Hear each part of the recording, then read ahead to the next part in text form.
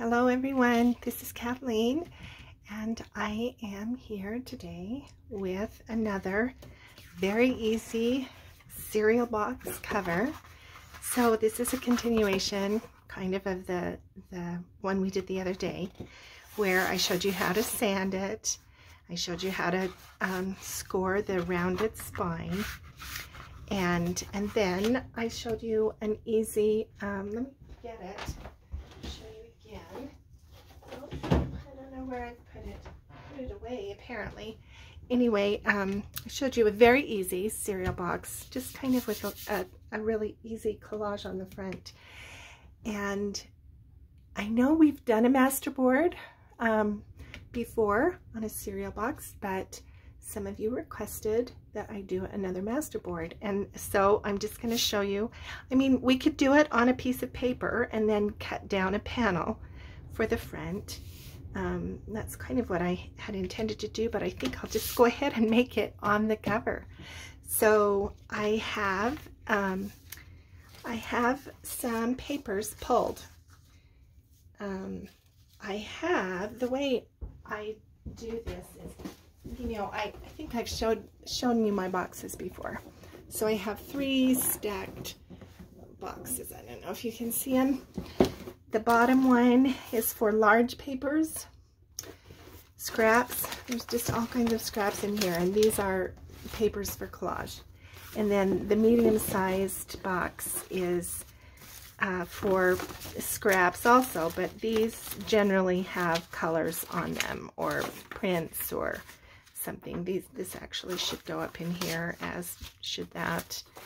Um, yeah, sometimes it's hard to keep them sorted, but but anyway, these are, are papers that go in a collage kind of at the middle layer. And then the final smallest um, tray is for little things that end up going on the top um, of the pyramid. You know, you have the bottom foundation layer, then you have the middle decorative layers, and then you have the final focus layers.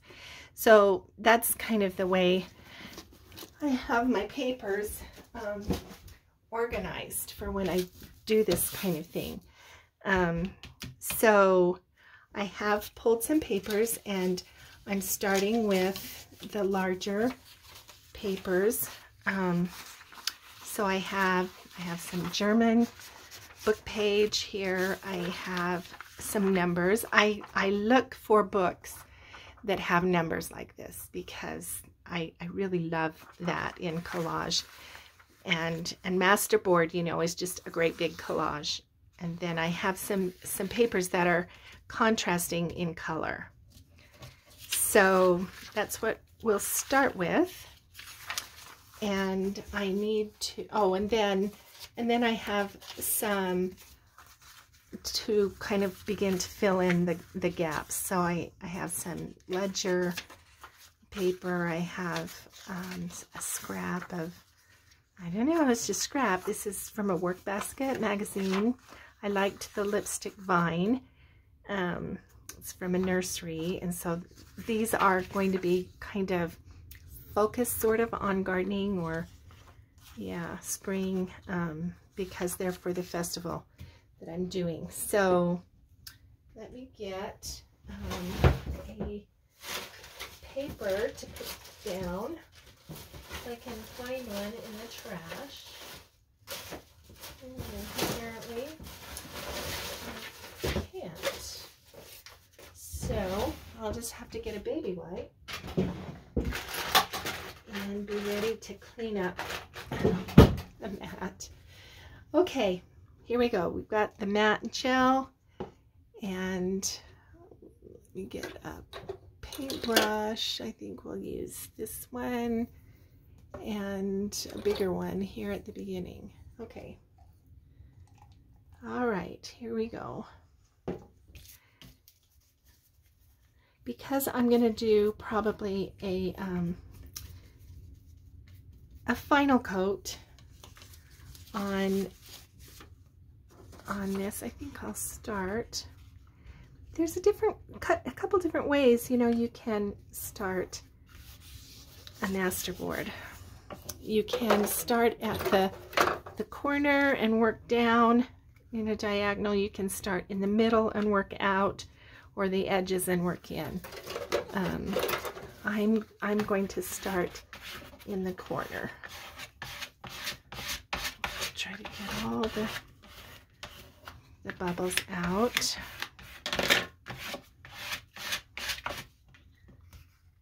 And that's pretty straight. Yeah, all right. And then I'll put a book page here in the opposite corner.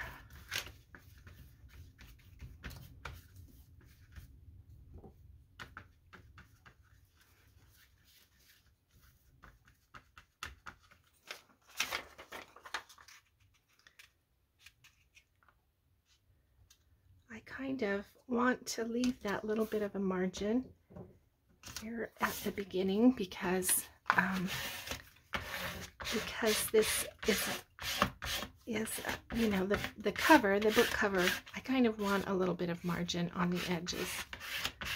I can have things run off.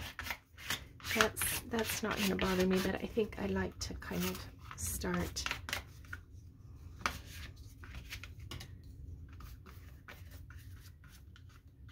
with a margin oh dear getting glue everywhere. That's why I wanted a little paper, but okay. All right, then I want numbers, and I, because the lines are kind of going this way, I want to emphasize that these vertical stripes. So, well, but there's that. I kind of like that. Yeah, I think I'll put this down here. Uh, you know, I don't, uh, I don't know why I make, sometimes I do, I guess, but I don't know why I'm making decisions, honestly. I think. Now, I need to be careful. This is my spine. So I don't want to put anything like right on that edge. I need to overlap it. I think we'll do that. We'll overlap it this way.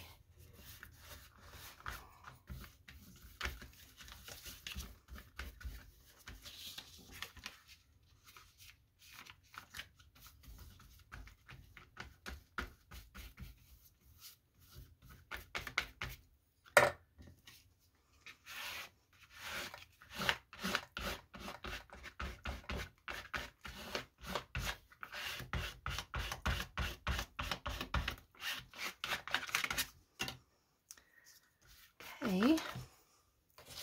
Now I need another contrasting color down here, but I don't, I don't know what we're going to have. This is the front, so let's put this at the back.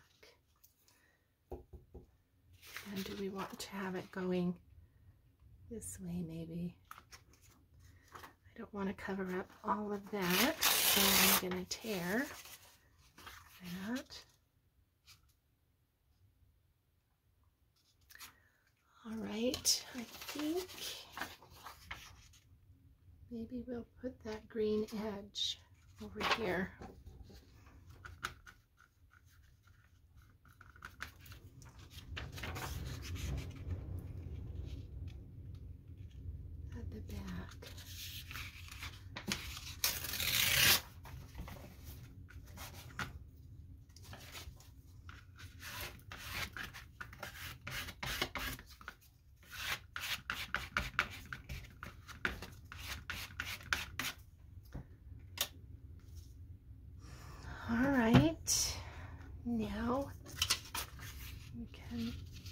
this.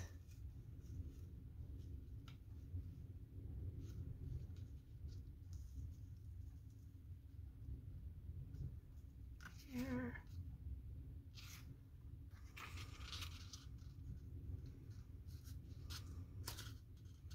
If we put it here, then some of it is going to get covered up. But maybe that's okay.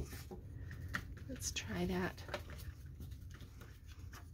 You know, it's better that you not get too uh, worried about things honestly, no need to worry because it's just paper. And if I don't like the way it turns out, I can keep working on it and, um, and it'll be fine. Or if I really don't like it, then I can just toss it.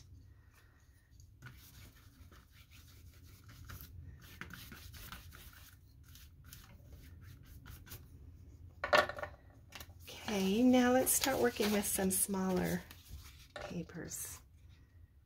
This would be pretty up here because then that's gonna be opposite there. Or I really want to get some, I want to get some ledger in there.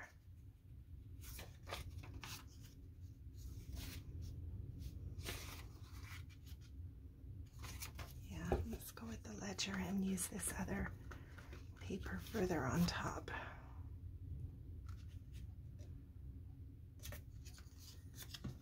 Okay.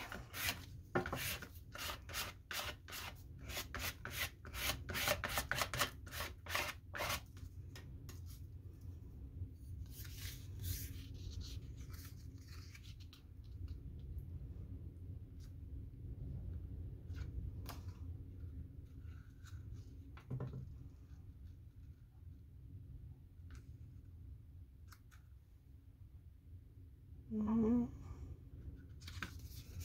Maybe. Here's another piece of ledger. It has these fun holes on it.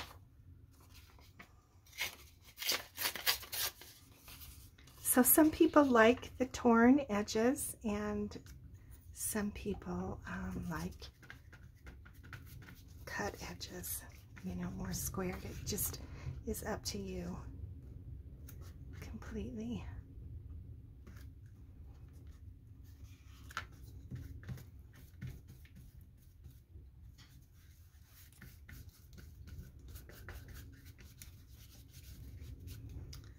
All right.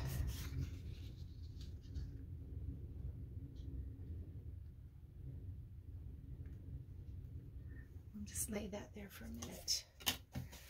Okay, what else I have is I have this little theme, the soil in your garden. It's kind of a, a rip off from something. Let's put that down here. Actually, that would need to be on top. Let's do, let's do, uh, I want add here. And let's do just a little bit of color with that tissue.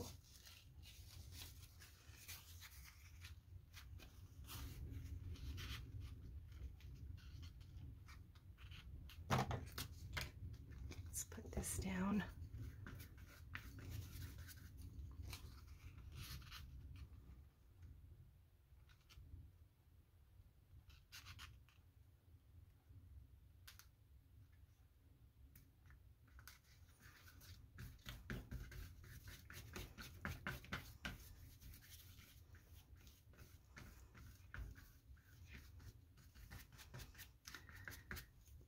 Okay.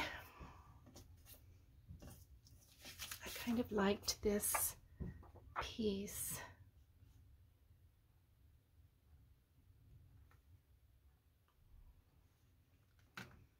But no room here. We'll have to save that for the next one.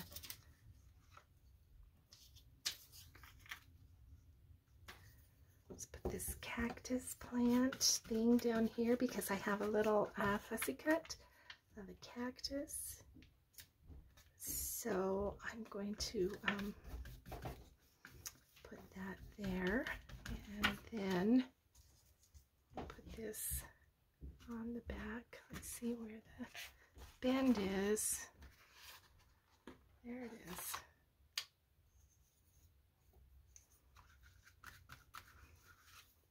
So, you know, you just kind of build up layers. That's that's what Masterboard is all about. It's just building up layers.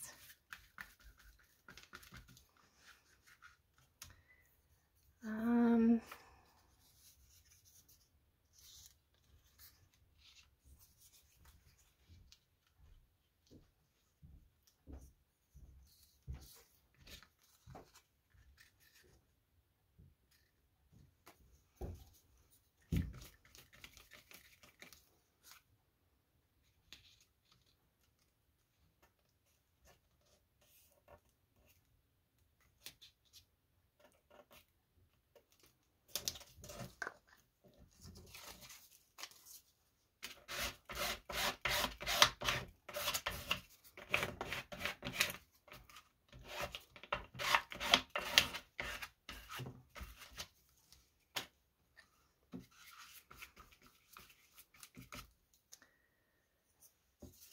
This was kind of just a little article out of the Work Basket magazine.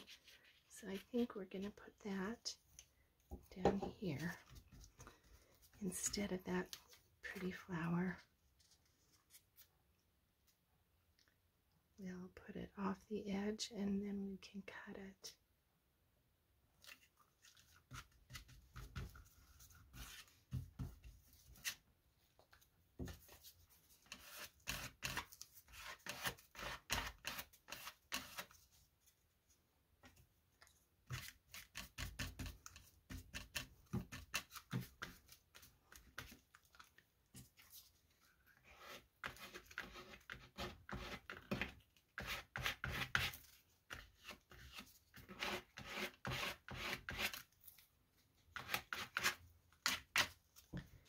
looking good.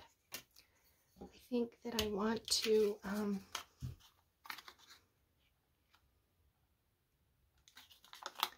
I want to get we'll save that for another one. I want to get um,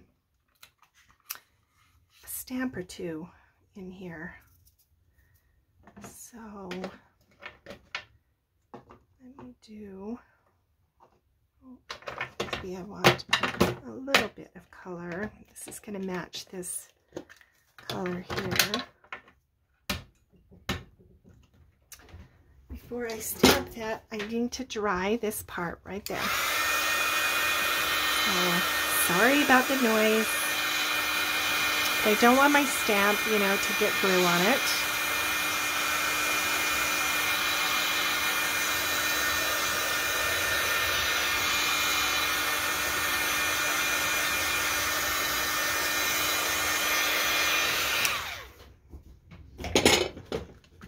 good enough.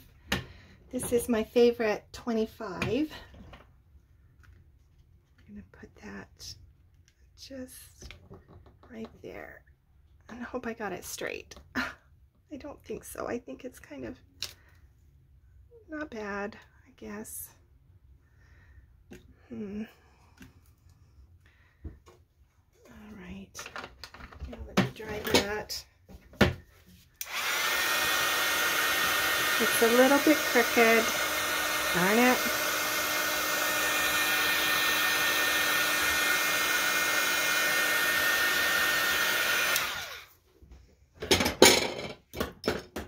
Okay. Now,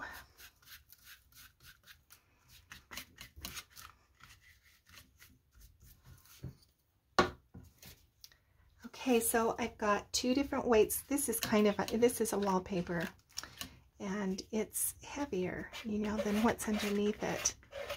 And I can see I've got some bubbles. That ledger is quite a bit thinner than this, and the ledger is also thinner than what's underneath it. And so, yeah, we've got bubbles coming. All right you know, I kind of like the back the way it is. Let's look at our competition or comp composition. We've got flower and garden. We've got this, this is focal focus comes your eye comes back down here, so that's kind of a triangle. Um, and I wanted to put this in there somewhere.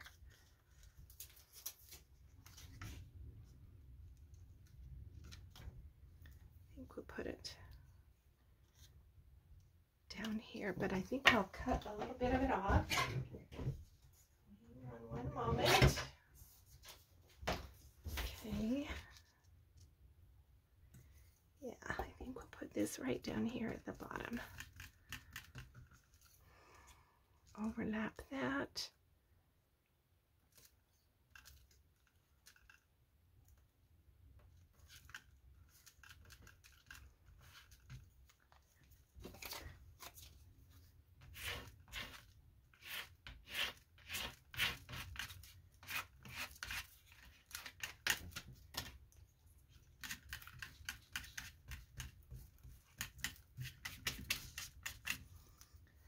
Okay, so I think for the most part, I think the masterboard is is done. Now we just have to decide um, what we want for like a focal point on the front of the cover and then just add the little details. So in order to do that, I need to be able to see where the edges are, where the bend is. So let me give that just a little bit of a, a dry. And then we'll trim it so that we can see the edges and see what else we need to do. But yeah, I kind of like the way that looks. I think I need something over here. Um, but then once we have it bent, see that'll be on the back, this will be on the front. So, so I just need to take a look at it.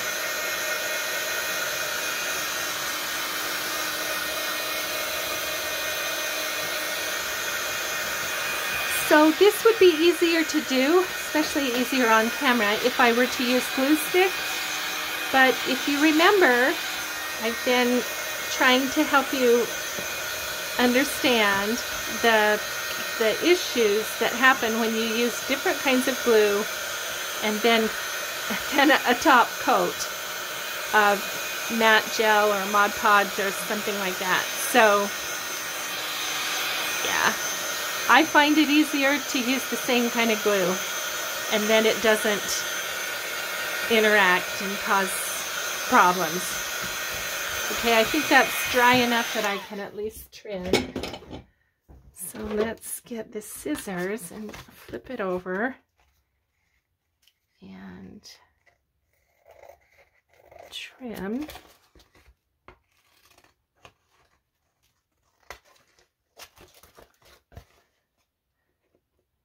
Come around that curve.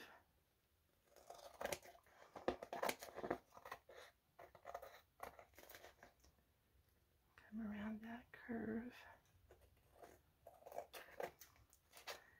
I'm going to definitely, I've been promising to clean my scissors and I keep thinking that, that I'll do a video about housekeeping in the studio how to clean your scissors and how to recondition your paintbrushes and stuff like that. So I will put that on the list, but yeah, so these scissors are just ready. They're ready for that. All right. Okay. Oh, I kind of like that. I kind of like the way that looks. Ooh, I actually really do. Yeah, I think that looks great. Okay, so this is, you know, the, the rounded spine. And I don't want to put too much of a bend in it yet. Okay, that's the front. It's pretty. This is the back. That's also pretty. This is a little closer to the bend than I had wanted, but, and that is as well. Hmm maybe I'll, I might just cover a little bit of that up.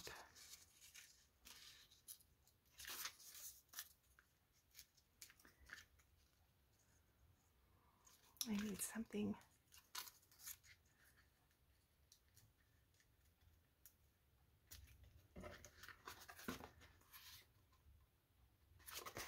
Yeah, I kind of like that. Let's do that. Let's put this. This is a really, um, it's a ticket of some kind. The Chicago and Alton Railroad Company.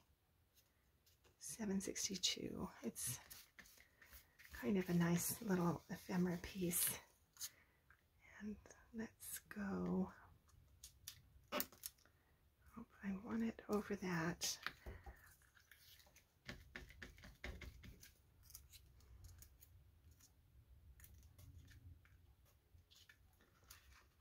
All right, that's not going to bisect that, so that's good.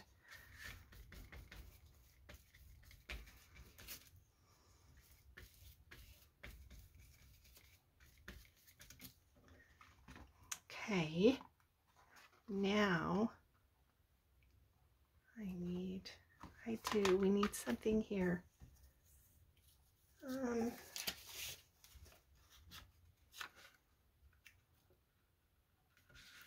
yeah, let's put this little bit of,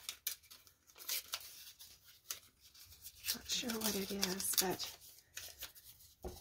you know, put it over that.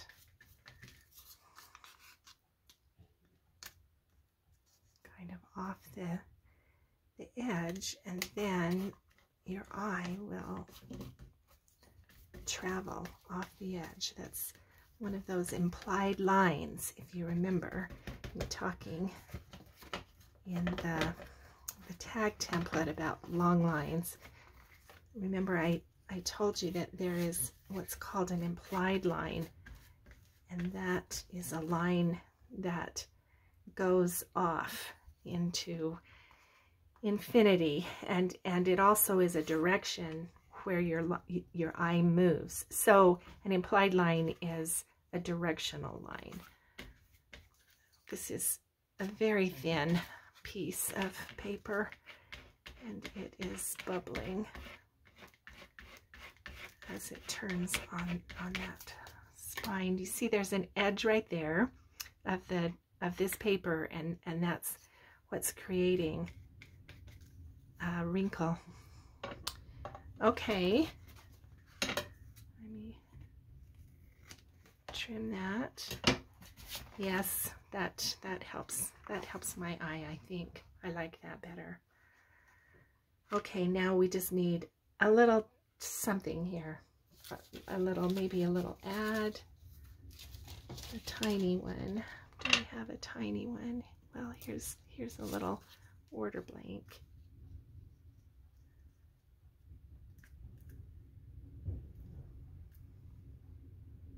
Yeah, do that.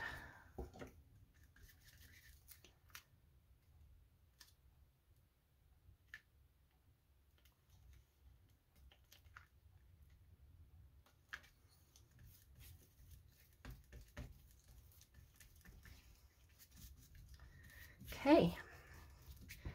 All right, and then we have this that needs to be smashed a little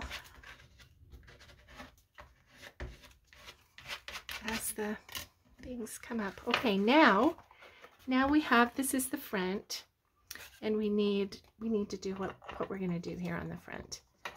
So I think I'm going to put this flower there. Might need to be a little taller. So there's a triangle between this flower, this flower, and this text, which our eyes always want to read text, so your eye is going to go there. And then um, since your eye is going to travel here, we could come put this further down. I kind of wanted another little bit of green since this is like a gardening kind of festival. Maybe no, that doesn't match. Well, it could, but but then it, it is too close to another horizontal line right there. And you can't see this one as much, but you can definitely see the edge of that on there. And I don't want to create that. I could put it off center.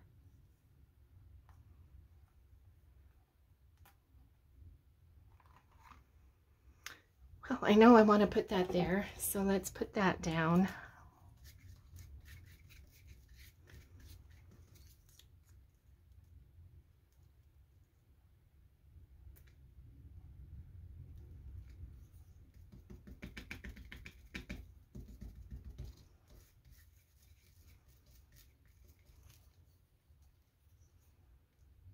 Now, do I want to put that on there or leave it off. This will have um,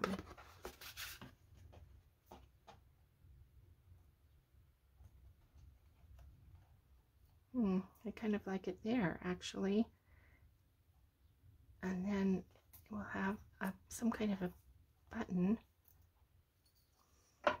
grab a button and see. If I put it kind of under the button. That might be good. No.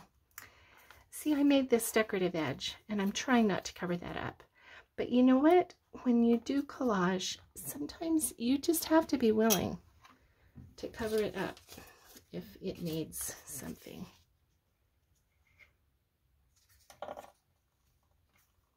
And it needs something there maybe another um,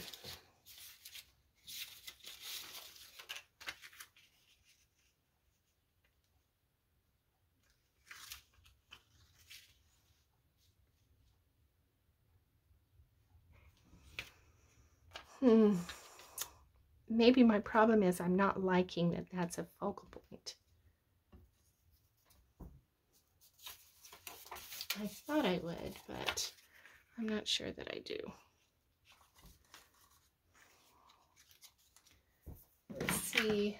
Let's see if we have a butterfly. I have to laugh. My daughter-in-law, Kate, she says, if you're in doubt, paste a butterfly on. And she's usually right.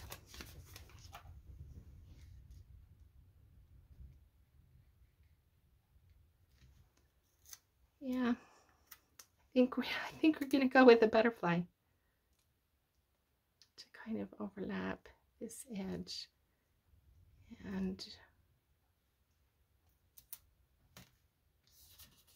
okay. All right. There we go. Let's make sure that is stuck down good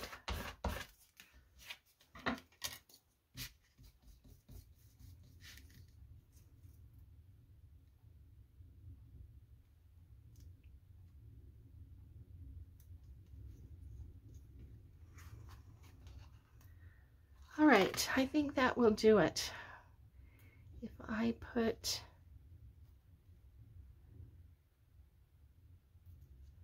that there,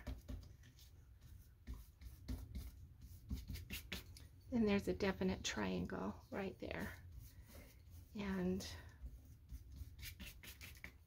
I know some of you are probably thinking, ah, I don't like that, but I think think it's going to be okay. You see, that is going to just be a wrinkle because of the, the, the spine. All right. Let me try that for just a minute and see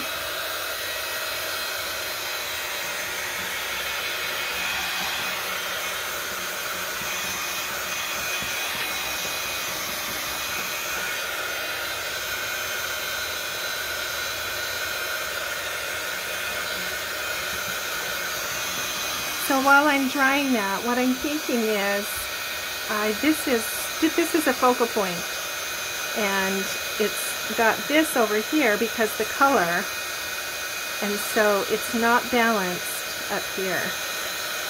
I need something that is gonna balance those two, preferably in a triangle. So I have another green stamp where I could get a green stamp, which would be smaller, or I could get, I have, I have a little blue stamp. And that might work too.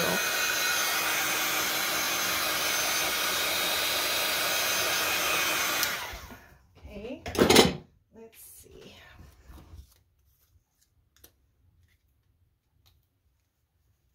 Just something, you know, that that that balances from the bottom to the top.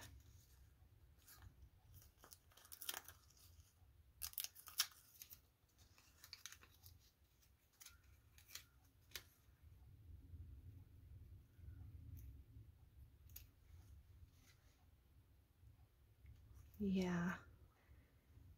It also feels balanced with this over here, but I have to remember that that's not part of it because that's this is on the back. But you can see that there is some there's something a little off about this because this is heavy right here. And and I guess that's okay because at least it's on the bottom and not on the top. But I just think if I put something right up there.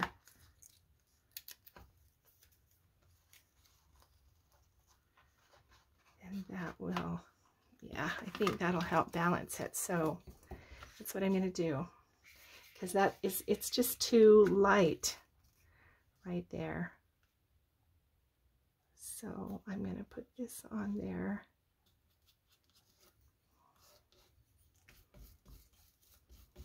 That will That'll balance it for me. Balance is another, um, it's another important design element. And I've talked, I think I've talked about it, I'm not sure. I'll have to check my videos and see um, and do a little lesson on balance. There, I actually, I like it. That makes it better for me. Yeah, okay, there it is. So that's that one. Now, this is going to have to dry really before we, um, let me just put a little bit of heat on that. I realize that I have not shown you how to do the eyelet and the, the button. I do have a video on the button and I will link uh, that button closure below. Um, I think this one I will, because it's so busy, I think I will probably put, um, maybe I'll put a button, I'll see what it looks like, but um, I often want to just sit with this for a bit to see what I might, how I might want to further. I, I think it's pretty busy, so I'm not sure how much more I want to put on it. So if I put a button, then that adds to the busyness. But I do like the way that turned out.